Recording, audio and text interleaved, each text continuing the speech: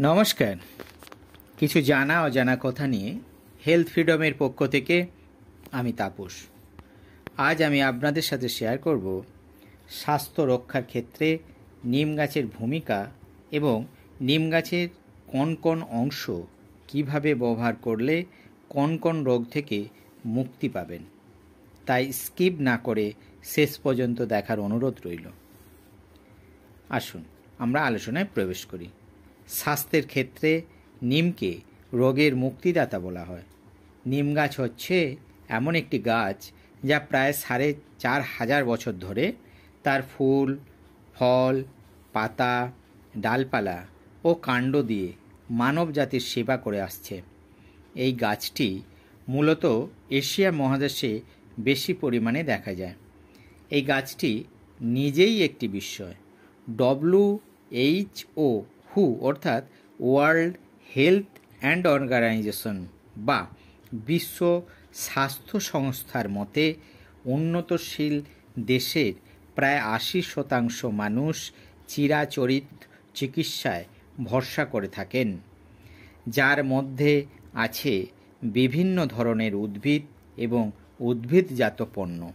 এক কথায়, নিম হচ্ছে একটি আরোগ্য নিকেতন, কারণ নিম যেমন জীবাণু ঘটিত রোগকে সারায়, তেমনি ulcer, diabetes, asthma, leprosy, malaria, সুষ্ঠুভাবে রক্ত চলাচল ও রক্ত পরিষ্কার, মুখ গহ্বর সংক্রান্ত স্বাস্থ্য রক্ষা বজায় রাখা, ত্বকের আক্রমণ, সেপটিক, ক্ষত, ফাঙ্গাল সংক্রমণ, যা মানুষের শরীরকে ব্যতিব্যস্ত করে তোলে এবং এই জাতীয় বিভিন্ন উপসর্গ প্রতিরোধ করে। আমরা অনেকেই জানি নিম তেল থেকে বিভিন্ন ধরনের সাবান, শ্যাম্পু প্রস্তুত করা হয়। এছাড়া খস পাঁচটা বা চুলকানি দাঁতের রোগ রক্তের সুগার লেভেল নিয়ন্ত্রণ, চুল পড়া, উকুন বিনাশ, খুশকি বিনাশ, ওজন কমাতে ঠান্ডাজনিত বুকের ব্যথা, পোকামাকড়ের কামড়, জন্ডিস, ভাইরাস, রোগ, বাত, ব্রণ সারাতে ছত্রাকের ইনফেকশন দূর করতে অজীর্ণ, অ্যালার্জি ও একজিমা এই সমস্ত রোগের উপশমের ক্ষেত্রে নিম অসাধারণ কাজ করে।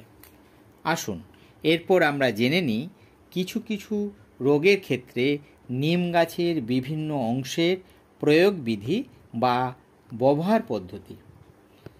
প্রথমত আমরা আলোচনা করব খসপাঁজরা বা চুলকানি নিয়ে। নিম পাতা জলে ফুটিয়ে সেই জল দিয়ে স্নান করলে খস পাঁচরা সেরে যায়।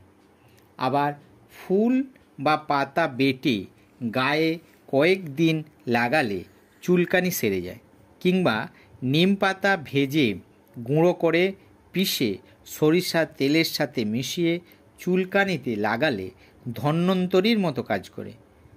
আবার নিম পাতার সাথে সামান্য কাঁচা হলুদ বেটে নিয়ে আক্রান্ত স্থানে প্রলেপ আকারে কিছুদিন ব্যবহার করলে খোসপাঁজরা ও পুরানো ক্ষতের উপশম হয়। নিম পাতা ঘিয়ে ভেজে সেই ঘি ক্ষতে লাগালে ক্ষত অতি সত্তর সেরে ওঠে।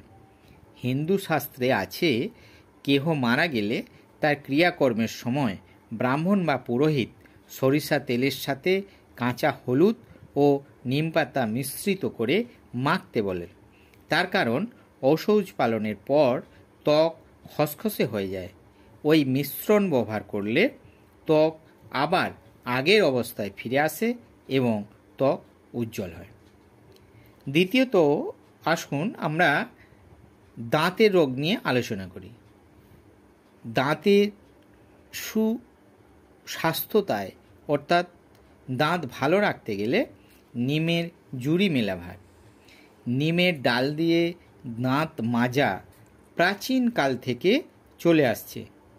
নিমের পাতা ও ছালের গুঁড়ো কিংবা ডাল দিয়ে নিয়মিত দাঁত মাজলে দাঁত হবে মজবুত, রক্ষা পাবেন দন্ত রোগ থেকে। আবার কচি নিম ডাল দিয়ে দাঁত মাজলে দাঁত মজবুত ও ভালো থাকে।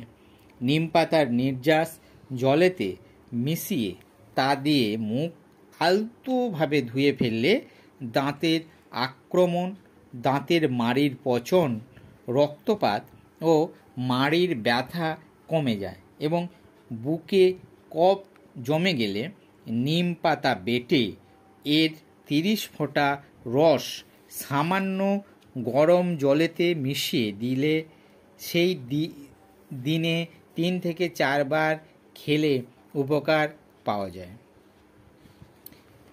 আজ নমস্কার, আজ এই পর্যন্ত।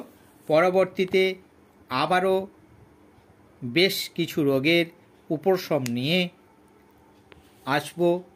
আপনাদের দরবারে ততক্ষণ পর্যন্ত সকলে ভালো থাকুন, সুস্থ থাকুন। সবশেষে বলি, আমার এই আলোচনাটি আপনাদের যদি একটুও ভালো লেগে থাকে, তাহলে লাইক, শেয়ার ও সাবস্ক্রাইব করবেন। জয় হিন্দ, জয় ভারত।